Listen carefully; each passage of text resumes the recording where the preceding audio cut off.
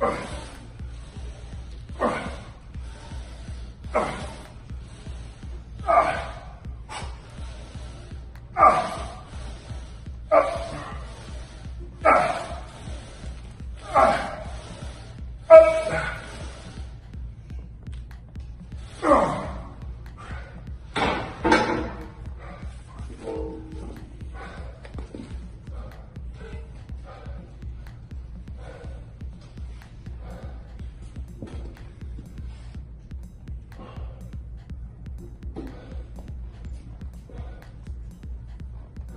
All right.